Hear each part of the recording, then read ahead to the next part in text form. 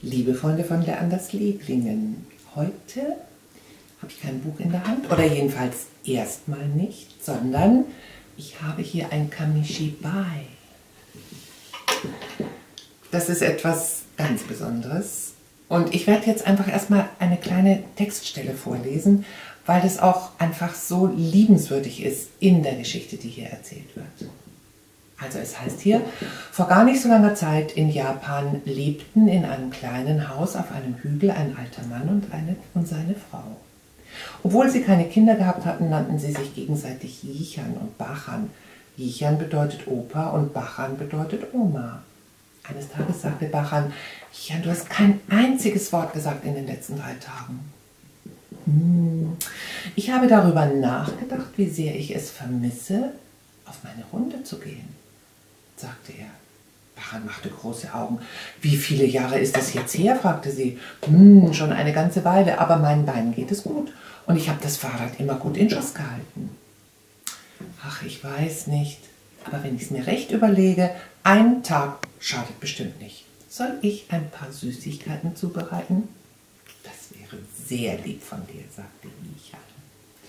Und dieses Kamishibai bedeutet, dass ich nun eine Tafel wegziehe, sie hinten reinstecke und so geht die Geschichte weiter. Und ich lese hier nur noch ganz kurz weiter, weil ich das vom Text her einfach ganz zauberhaft finde. Am nächsten Tag fuhr Jichan auf seinem Fahrrad im ersten Morgenlicht den Hügel hinab. Hm, wie viele Jahre ist das jetzt her? fragte er sich. Ich kann mich überhaupt nicht an einen solch schönen Morgen erinnern. Alles ist so frisch und jung. Na, und dir wünsche ich auch einen guten Morgen, du wackelige alte Brücke. Bist auch nach all den Jahren noch bei Kräften, was?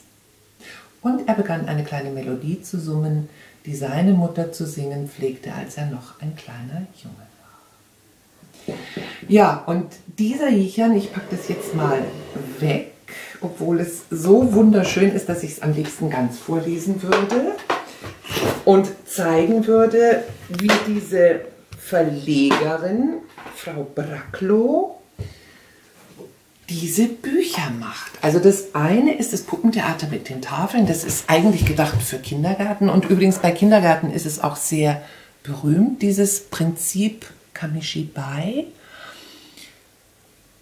kann es natürlich auch im Privataushalt haben und zum Beispiel für ein Kinderfest es einfach mal inszenieren und das ist schon sehr spannend, wie Kinder darauf reagieren. Ja, und genau darum geht es auch in dieser Geschichte. Übrigens, schauen Sie mal, ich weiß nicht, ob man das im Film sehen kann, dieses Buch ist noch so richtig in echtes Leinen gebunden. Und da wird nun diese Geschichte erzählt, wie dieser Kamishi Beimann Jichan in die Stadt kommt und mit seinen Hölzern die Kinder versucht zusammenzurufen, aber sie kommen nicht mehr. Denn in der Zwischenzeit ist der Fernsehapparat erfunden worden und hier kann man sehen, dass inzwischen nach all den Jahren, die er nicht mehr unterwegs war mit seinem Kamishibai, die Kinder nur noch vor dem Fernsehapparat sitzen. Inzwischen ist wieder noch mal Zeit vergangen. Heute würden sie vor ihren Smartphones sitzen. Und den einzigen, an den er sich erinnert, ist ein kleiner Junge, der konnte sich die Süßigkeiten immer nicht leisten. Aber er hat den Geschichten so gerne zugehört. Und er stand immer etwas abseits und der Kamishi Beimann hat ihn gefragt, willst du denn nicht auch was Süßes haben? Dann lief er einfach weg. Ja, und jetzt sind die Jahre und Jahrzehnte vergangen und er ist ein uralter Mann und ist nun dabei, seine Geschichten noch einmal zu erzählen. Und da meldet sich hinten im Publikum ein Mann und sagt, ich bin es gewesen. Ich bin es gewesen. Kann man das hier sehen? Der mit den grünen Ärmeln ich bin es gewesen damals, der so gerne zu diesen Geschichten kam. Und jetzt bin ich selber erwachsen und habe selber Kinder und finde es wunderbar, dass es den Kamishi Beimann immer noch gibt der uns seine Geschichten erzählt. Denn diese Geschichten haben wir nie vergessen.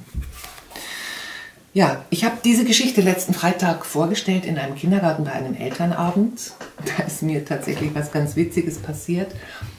Beziehungsweise witzig ist es gar nicht. Es ist eine, hm, vielleicht eines der schönsten Geschenke, was ich jemals bekommen habe, weil eine junge Frau nach dem Vortrag auf mich zukam und sagte, Frau Hoffmann, ich war schon als Kind mit meiner Mutter damals in Mannheim bei Leanders Leseladen und sie haben am Samstagnachmittag immer noch Geschichten erzählt. Und ich durfte damals bei ihnen oft mit dabei sein, wenn sie diese Geschichten erzählt haben. Tja, was das wohl damals für Geschichten waren, dass sie sich immer noch daran erinnert, ich glaube, ich weiß es. Eine der Geschichten war, und das ist jetzt auch in diesem Verlag erschienen von Rafik Shami, der Wunderkasten. Das ist eine Geschichte, die mich auch immer ja, buchstäblich zu Tränen gerührt hat am Ende, denn es ist im Grunde immer wieder die gleiche Geschichte, nämlich die Erinnerung daran, wie schön die eigene Fantasie in der Kindheit war. Es geht in dieser Geschichte darum, und übrigens diese Illustrationen von Peter Knorr, die sind von einer unglaublichen atmosphärischen Schönheit. Das ist so ein Hinterhof in Damaskus, wo eben dieser Märchenerzähler kam, der seinen Wunderkasten, hier kann man ihn sehr schön sehen, wie die Kinder davor sitzen, aufstellt und jeder, der ihm ein Glas Wasser bringt, darf sich vor den Wunderkasten setzen und den Bildern zugucken, die seine Geschichte begleiten. Also damals schon eine Bildergeschichte in diesem Wunderkasten. Und es war natürlich ein zauberhaftes klassisches Märchen von einem armen kleinen Ziegenjungen, der in die schöne Leila verliebt ist und der natürlich unglaublich wahnsinnige Abenteuer bestehen muss zum Beispiel muss er Löwenmilch besorgen für den Vater der schönen Leila, der immer gerne schön sein möchte und das ist man nur durch Löwenmilch. Und er musste also tausend Abenteuer bestehen, bis er am Ende tatsächlich seine schöne Leila als Braut nach Hause führen darf. Aber, hier feiern sie alle, aber das Problem ist, der Lauf der Zeit nagte sehr an diesen Bilderrollen und irgendwann waren diese Bilder völlig zerstört. Der alte Mann, der Märchenerzähler, hat sie immer ein bisschen geklebt mit modernen Werbebildern, aber die waren nicht besonders reizvoll für die Kinder. Das interessierte sie überhaupt nicht, dass Löwenmarke da jetzt plötzlich in der Dose angeboten wurde und die schöne Leila Werbung machte für die schöne Zahnpasta und so weiter und so fort. Jedenfalls die Kinder kamen einfach nicht mehr. Und irgendwann kam auch der Geschichtenerzähler nicht mehr. Aber dann eines Tages, und ich glaube, es ist eine Geschichte aus der eigenen Kindheit von Rafik Shami, erzählt er, dass die Jahre vergangen waren, als eines Tages er wieder das Glöckchen hörte, dass der Märchenerzähler in seinen Hinterhof kommt. Und er rannte los, als er die Stimme hörte, kommt Kinder, kommt alle her und hört meine Geschichten. Zuhören kostet nichts, kommt alle her. Und für einen Piaster könnt ihr die Wunder der Welt sehen und den mutigen Sami, wie er auf einem Löwen reitet. Tja, heißt es hier, wir wunderten uns über seinen Kasten, der nun keine Stäbe und gar keine Bilderrollen mehr hatte. Aber er sang und erzählt von Räubern, Löwen und Verliebten und die Kinder lauschen den Geschichten des alten Mannes gebannt wie früher. Und als sie sich von der Bank erhoben, weil sie ja in den leeren Kasten geschaut haben, strahlten ihre Gesichter. Was habt ihr gesehen? Was sieht man, wollten die Wartenden wissen. Das ist ein Wunder, flüsterten sie. Und ich war froh, als ich an diesem Tag selber an die Reihe kam. Und es war wirklich ein Zauber.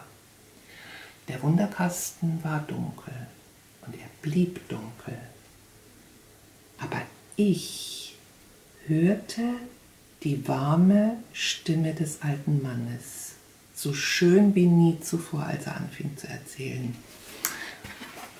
Den Rest kann ich nicht vorlesen. Sie merken schon, ich fange an zu schlucken. Das ist eine Geschichte, die mich unendlich rührt.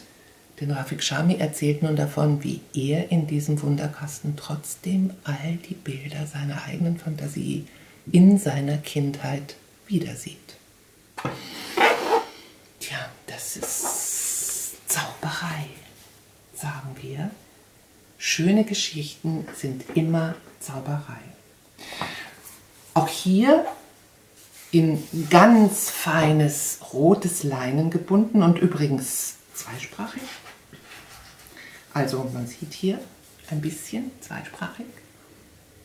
Rafik Shami, der Zauberer aus dem Orient, aus Damaskus, der zu uns gekommen ist, um uns seine zauberhaften Geschichten zu erzählen. Ich wünsche allen Menschen diese Geschichte. Und natürlich auch die von Kamishi Beimann. Und daran kann man übrigens sehen, dass das auf der ganzen Welt immer wieder das gleiche Thema war. Diese Sehnsucht nach dem Glück der Kindheit. Und die bezog sich darauf, welche Geschichten wir da gehört haben. Eine ganz besondere Verlegerin, die diese Geschichten so kostbar wieder verlegt.